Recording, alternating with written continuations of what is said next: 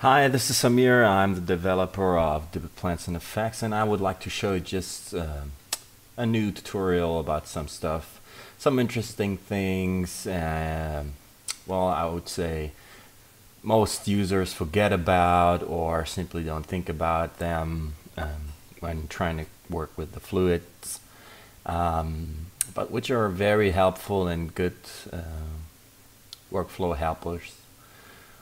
Um, well, and I have a custom uh, interface set up here uh, that I stored at as DPIT user here in Cinema 4D.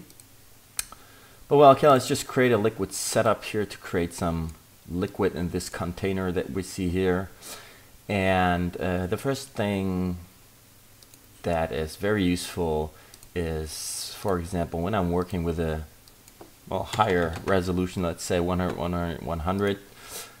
And play simulation. Okay, that's a little slower now.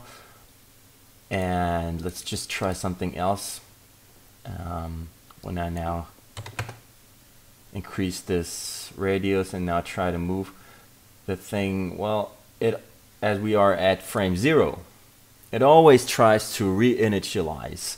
Um, the initial state of the simulation as we are changing our emitters or obstacles or whatever.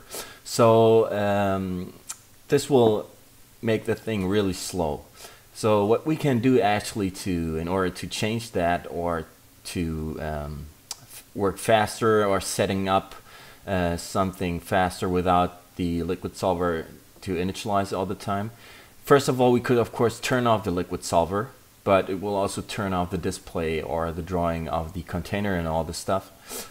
Uh, so, um, and I don't see my generator shape anymore, so that's no real option.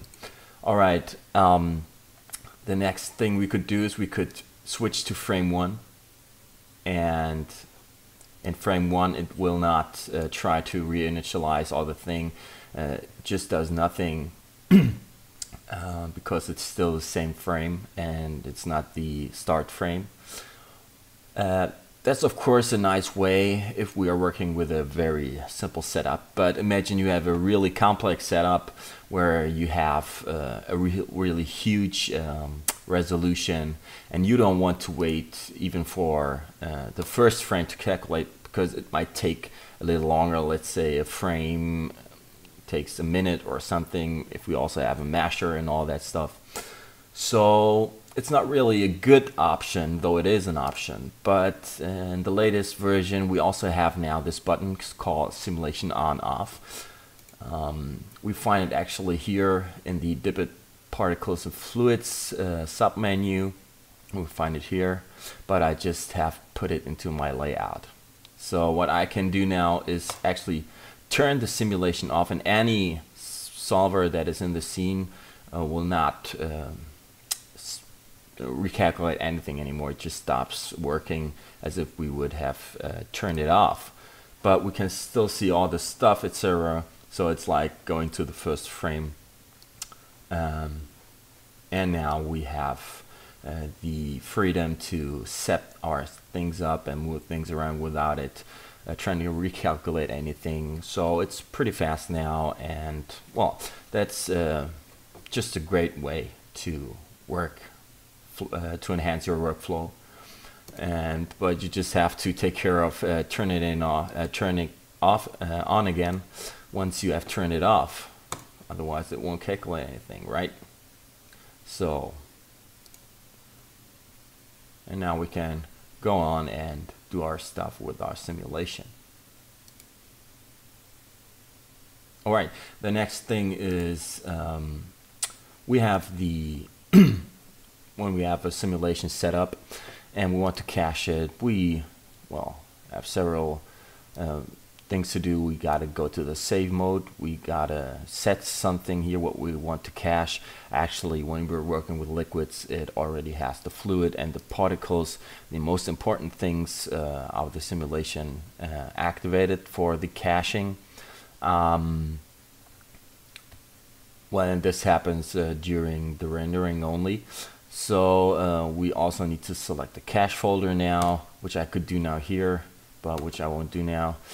uh, I want to show you how it works much faster because once you create a liquid solver, you could simply just click on start caching here. And it will then uh, open that select cache folder anyway. And um, well, I could just uh, create a new folder now here and uh, create a cache folder.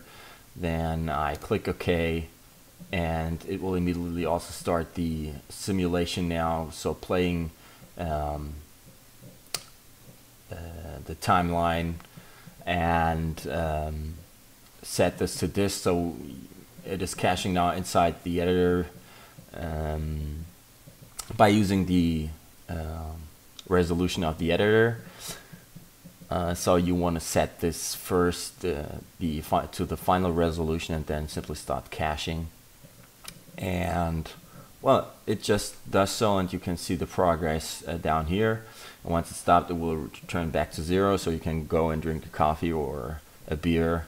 I hope you're not drinking whiskey while you're working, but uh, also an option. Well, I think these two uh, quick tips were useful and um, they simply speed up your workflow.